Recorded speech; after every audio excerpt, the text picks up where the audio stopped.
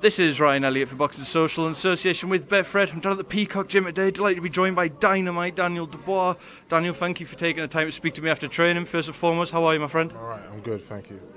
That's good to hear. Uh, we'll come on to your fight and, and everything that comes with it. Obviously, one place to start. We've just had a huge, huge heavyweight fight over the weekend. Tyson Fury cl- crowned WBC World Champion. Did you watch the fight, Daniel? I'm sure you did. Yeah, of course, it was uh, amazing.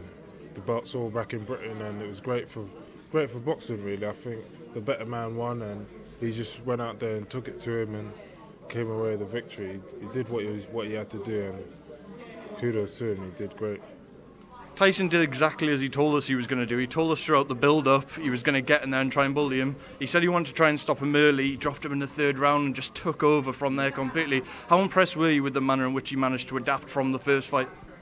Well, he just, you know, he said, as you say, he did said what he was going to do, and he went out there with a game plan, obviously, and just took it to the guy. Just out, outdone him in every apart, department, and um, everything that Tyson had, his size and his boxing, and and he's just size, sheer size, just too much for the guy. Tyson Fury's been described as many things. Not often do you hear Tyson described as a puncher, though. Were you surprised by his power in there? He seemed to be hurting Deontay with pretty much everything he threw. Yeah, he just took him apart really. Um, you can't, you, you know, um, he still, you know, he just, he just took the guy apart. That's all I can say. He took him apart. Mark Breland in Deontay Wilder's corners came under a bit of criticism uh, from Deontay himself for throwing in the towel at that point.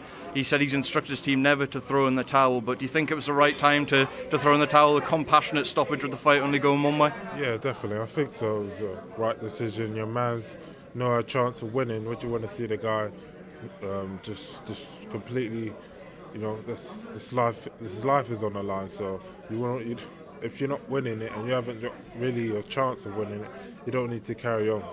If that's the case in that situation, I think he did the right, made the right decision.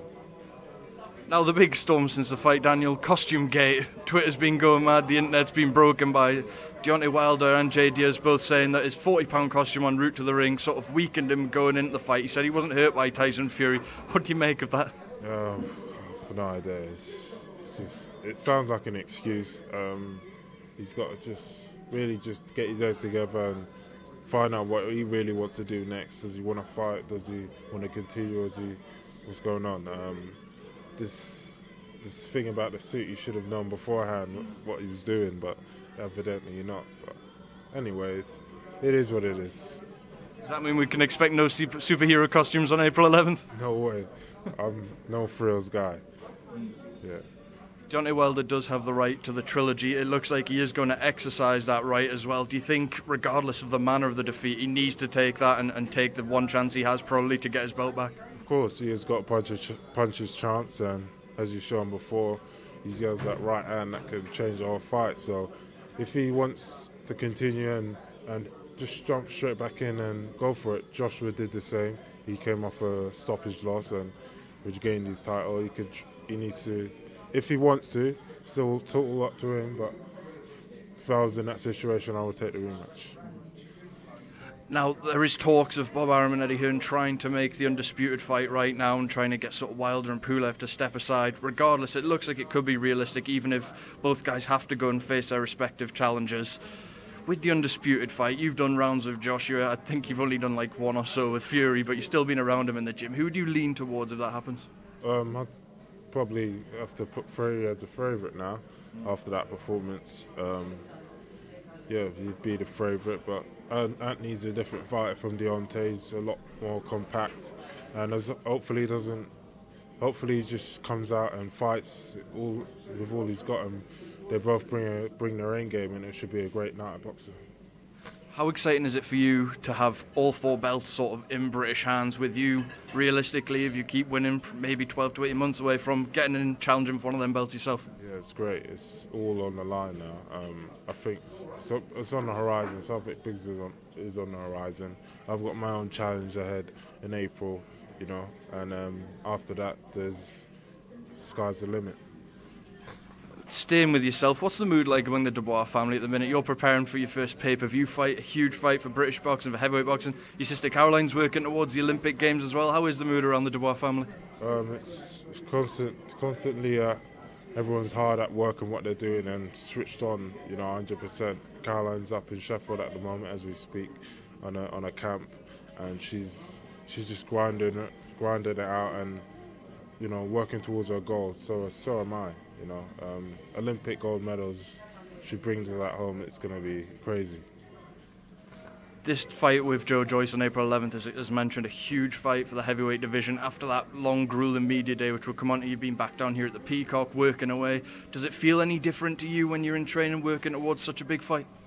Um, an extra focus, maybe, but not nothing else really. Same, same old in the gym every day, same stuff: eat, sleep, train, repeat, and I've been doing that so so long, really, in my boxing since the day I started boxing. So it's nothing new to me.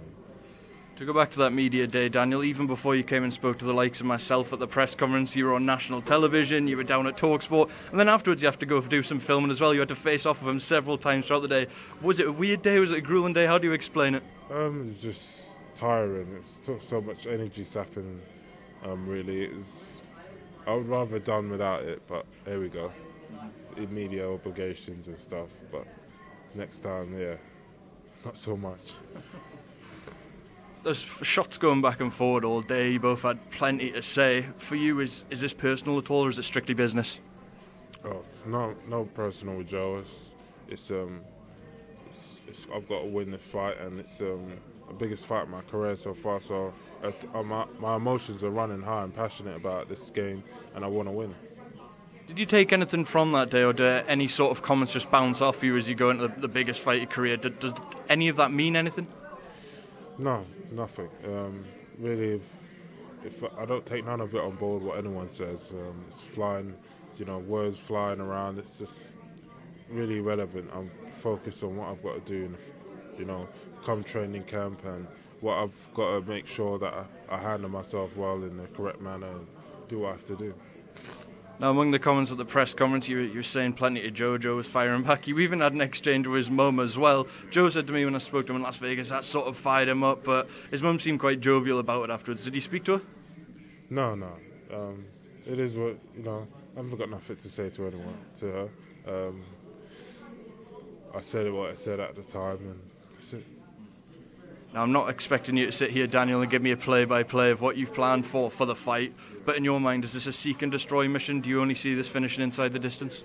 Yeah, possibly doing um, a knockout, but I'm going to box first, you know, exhibit boxing skills, do what I've done throughout my amateur career, boxing career, and what I've learned to date, you know, through the 10 plus years of, or 8, 10 years I've been boxing throughout my amateur career, and what I've learned from the amateurs. I'm going to put all to good use on this night. With a win against Joe Joyce, you know, Olympic silver medalist, someone who himself is trying to fast track to the very top, where does that leave you in the heavyweight division if you win and win in style as well in April? Do you feel you're just under those guys holding the belts? Well, we'll see. We'll, we'll have to see. I'm, I'm just focused on this fight. I'm really, it's, it's this fight is a, mass, a massive fight. It's um, you know, domestically it's massive, um, and I think on a world level as well. Joe's a quality heavyweight. There's not too many others around, and um, potentially uh, you'll have to. Sp- I'll speak to Frank and that, but I think it does. It's not too far away from the big boys. On Frank, you recently signed a long-term extension with Frank. How excited are you for the future, given how he's guided you so far, right to this point where, even relatively short into your career, you're headlining on pay-per-view in such a big fight as well? Um, it's it's very you know um, I'm tied up with Frank now, so we're gonna we're gonna you know just do the best we can and you know whoever it would be I need I would need to be with the top promoter and now Frank's got the um, you know the heavyweight world champion so you can't get better than that really. Daniel, final one, because I appreciate you stay behind after training to speak to myself. I asked Joe when I seen him last week in Las Vegas for his final word. What would he say if you were watching? I'm going to ask you for the same. Dynamite, Daniel Dubois, if Joe Joyce was to see this, what would your final message be ahead of that huge fight, April 11th? You know, bring your A game. I'm going to be more than ready for it. And it's gonna, it's a great fight, and you know, bring it on, bring it on. Daniel, thank you so much for your time. Best of luck with the rest of your training. We'll catch you very soon.